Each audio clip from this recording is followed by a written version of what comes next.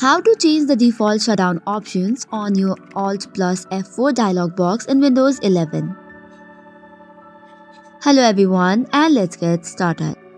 In order to change the default shutdown options, the first thing you need to do is click on the search bar and search for Registry Editor. Tap on the Registry Editor system and make sure to give it the permission. Once the interface is open in the Registry Editor, click on the computer. After that, click on HKey Current User. Then after search for the folder called as Software. Under Software, search for Microsoft folder. Click on the drop-down menu and you will see a list of options. From here, you have to select Windows. Under Windows, you again have to go on current version.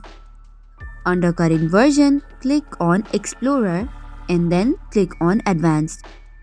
Once you click on the Advanced section, on the right side of your screen, you will see a list of options. Right click on it and then click on New.